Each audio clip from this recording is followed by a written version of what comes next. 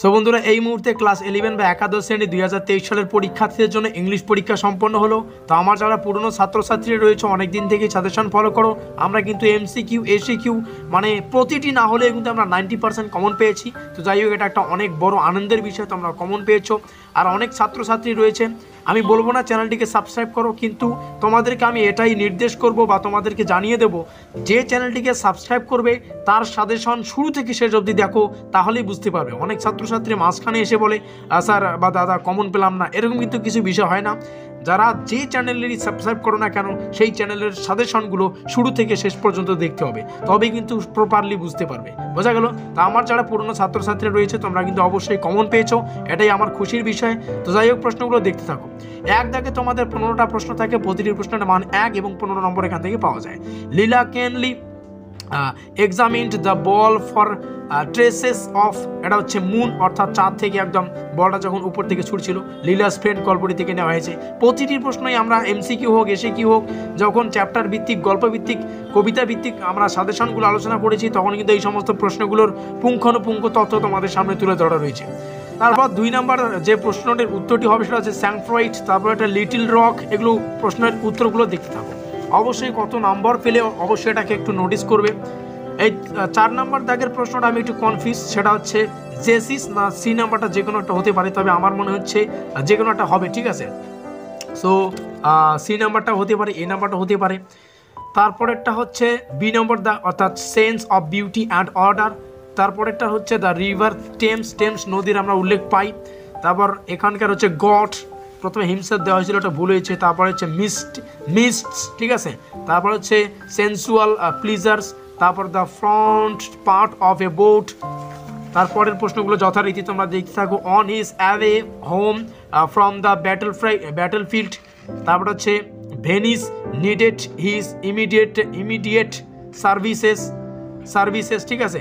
তারপর হচ্ছে এ নাম্বারটা অ্যাড্রিনাস সিস্টার তারপরটা সি দাগেরটা অ্যান্সার হবে, একটু দেখে নাও, ঠিক আছে? সি দাগেরটা কিন্তু, এ দাগেরটা কিন্তু না সি দাগটা সঠিক উত্তর। তারপরে যথারীতি উত্তরগুলো দেখতে থাকো। তো এই মুহূর্তে তোমরা যারা যারা চ্যানেলটিকে সাবস্ক্রাইব করোনি, তোমরা উচ্চ মাধ্যমিকে, অর্থাৎ ক্লাস টুয়েলভে পৌঁছানোর আগে সাবস্ক্রাইব করবে। আমরা যাবতীয় কিন্তু সাজেশনগুলো তোমরা পেয়ে যাবে চ্যানেলে ঠিক আছে? অবশ্যই শুরু থেকে শেষ অবধি সাজেশনগুলো দেখার চেষ্টা করবে। এবার যথারীতি তোমাদের দ্বিতীয়, অর্থাৎ শর্ট অ্যান্সার টাইপ অর্থাৎ এসে কিউগুলো তোমরা দেখতে দেখতে পাচ্ছ। How much was Siddha given for a month অর্থাৎ সিদ্ধাকে কত টাকা মানে যখন চাকরি দেওয়া হয় তাকে কত টাকা দেওয়া হতো? They paid Siddha for four rupees per month এবং চার টাকা দেওয়া হয়, এক এক গ্লাস দুধ দেওয়া হয় যাবতীয় তোমরা জানো অবশ্যই। প্রশ্নগুলো দেখতে থাকো, যথারীতি প্রতিটি প্রশ্নের উত্তর তোমরা জানো, ঠিক আছে? দ্বিতীয় প্রশ্নের উত্তরটা তোমাদের সামনে তুলে ধরছি। প্রশ্নটি হচ্ছে where did Jimmy work during his imprisonment অর্থাৎ কোথায় কাজ করেছিল জেলে থাকাকালীন? সেটা হচ্ছে Jimmy Valentine work at the prison shoe shop during the ten months of his imprisonment. এখানে অর অর দিয়ে একটা প্রশ্ন লেখা রয়েছে, সেটা হচ্ছে why was the clerk of the planted planters hotel much impressed by Jimmy? উত্তরটা এখানে দেখে নাও, প্রশ্নটার উত্তরটা। The clerk was impressed by the clothes and manner of Jimmy. এবং যথারীতি পরবর্তী প্রশ্নগুলো দেখতে থাকো, অবশ্যই এই প্রশ্নগুলোর উত্তর তোমরা পারবে, ঠিক আছে? এবং যারা যারা এখনই চ্যানেলটিকে সাবস্ক্রাইব করোনি, তোমরা এলিমিনেরই কিন্তু ইতিহাস পরীক্ষার আগে অনেক সাজেশন পেয়ে যাবে। সেগুলো দেখে রাখবে, ঠিক আছে? বড় প্রশ্ন ডেসক্রিপটিভ টাইপের প্রশ্নগুলো।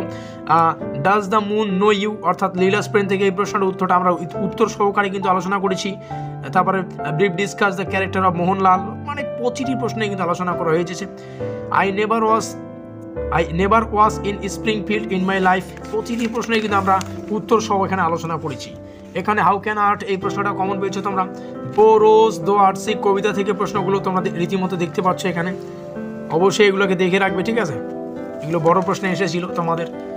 এবার লাইন বাই লাইন চার দাগের প্রশ্নগুলো দেখতে থাকো, এখানে চেঞ্জ দ্য ভয়েস ন্যারাশনের চেঞ্জের কথা বলা হচ্ছে এবার এখানে যে তোমাদের মানে আর্টিকেল প্রিপোজিশনটা রয়েছে, প্রথমে হবে অ্যামং তারপর হচ্ছে দা, তারপরে অফ তারপরটা টু তারপরটা উইথ তারপরটা ফ্রম তো এই হচ্ছে তোমাদের ইংলিশের সম্পূর্ণ সাজেশন এদিকে কিছু রয়েছে, একটু পাঁচ তাকের প্রশ্নগুলো দেখে নাও, ঠিক আছে? প্যারাগ্রাফ, রাইটিং স্কিলের অন্তর্গত পড়ছে এগুলো। অবশ্যই এগুলো তোমরা দেখতে থাকো। তো এই হচ্ছে তোমাদের ইংলিশের সম্পূর্ণ প্রশ্নপত্র এবং তার উত্তর সহকারে ডিটেলস আলোচনা। ভিডিওটি ভালো লাগলে লাইক করে দিও, বন্ধুদের কাছে শেয়ার করে দিও। সো আজকের এই ভিডিওটি এই পর্যন্তই।